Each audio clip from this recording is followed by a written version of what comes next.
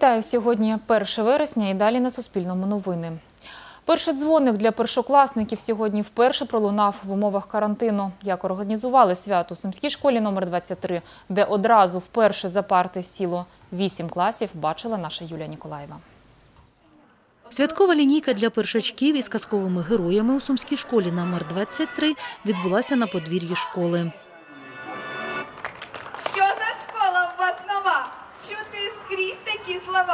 Думаю, що це цікаво. Думають усі і мами. Вона тривала не більше 20 хвилин. Одночасно дзвоник лунав тільки для двох перших класів.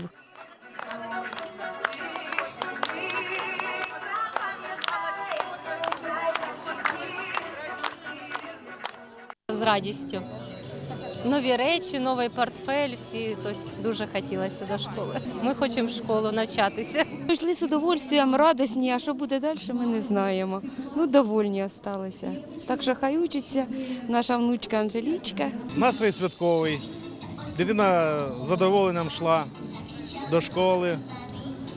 Тому карантин не завада навчання. У школі розклеєні спеціальні вказівники та розписані графіки навчання та маршрути. Кабінет закріплений за класом. Рано встала, Аня отспала, папа спал. Я первая проснулась, и все. Сьогодні дуже понравилось в школі. Хочу навчатися і, і чекаю вже уроків. Першоклассниця. Валентина Волницька сьогодні стала першою вчителькою для 28 першокласників. Звичайно, нелегко, бо є певні обмеження. І е, зазвичай 1 вересня свято, свято для всіх е, діток, не тільки першокласників. І воно, звичайно, на святковій лінійці більше вражень у діток. Але все одно адміністрація школи запропонували створити свято, хай маленьке, але свято. 64 класи, 1809 учнів. Із них вперше сіли за парти 222 першачки. Цей навчальний заклад працюватиме у дві зміни. Є необхідність, оскільки 64 учнівських колективи, ми не можемо їх розсадити так, як би було е, з забезпеченням тільки навчання в першу зміну. Я розумію батьків. Я хочу е, сказати, що дійсно цей процес складнуватий. Учні 3-4 класів будуть навчатись у підзмінку, але ж ми також їх маємо розвести в часі, тому що після навчання першої зміни має обов'язково провестись генеральне прибирання в кабінетах для того, щоб учні другої зміни сіли за парти в чисті кабінети, і учні підзмінки також. На першому поверсі ми забезпечили можливість дистанціюватись дітям, виокремивши е, паперовими смужками різного кольору. Е, Також є можливість дезінфікувати руки. І, е, звичайно, пройти до навчальних кабінетів з урахуванням маршрутів. В закладі розроблено чотири маршрути: маршрут 1, маршрут 1А, маршрут 2 і 2А. Таким чином діти можуть зібратись на шкільному подвір'ї і переступити поріг навчального закладу, е, мінімізувавши е, скупчення. А поки у тих першачків, яким пролунав дзвоник, розпочався перший урок, у наступних двох класах першачків починається лінійка. Юлія Ніколаєва, Віктор Лапченко. Новини на Суспільному. Суми. Без гарячого харчування в масках на перервах та з дезінфекцією в класі після кожної зміни. Так розпочали навчальний рік школярі 29-ї школи у Сумах. Як організувалися, розкаже Маргарита Марченко.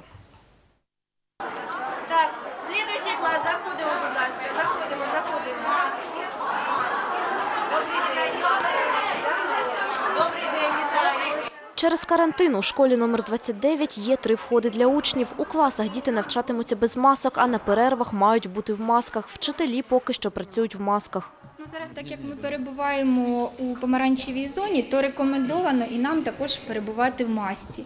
Хоча контакти з дітьми він є ну як на дистанції. Школярів перших-четвертих класів та пільговиків відтепер годуватимуть розфасованою по пакетам їжею замість страв у тарілках. Воду теж потрібно брати з дому. Це або пиріжки зафасовані з соком, або печиво, е, можливо, фрукти е, і чи якось чередувати. Навчання у школах поділене на зміни, після кожної з яких проводиться дезінфекція класів. Старшокласники відтепер не прибирають класи. Замість них це роблять техпрацівники, кількість яких має збільшитись у школах.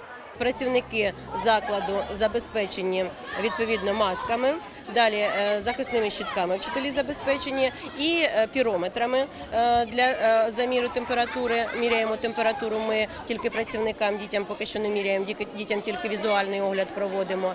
Ну і забезпечені ще деззасобами. За словами заступниці міського голови Сум Віри Мотричко, до сумських шкіл сьогодні пішли 3027 першокласників, які навчатимуться у 13 класах. Усього ж на навчання пішли трохи більше, ніж 28 тисяч учнів. У разі виявлення у когось з учнів COVID-19 на карантин відправлятимуть клас. Маргарита Марченко, Віктор Лапченко. Новини на Суспільному. Суми.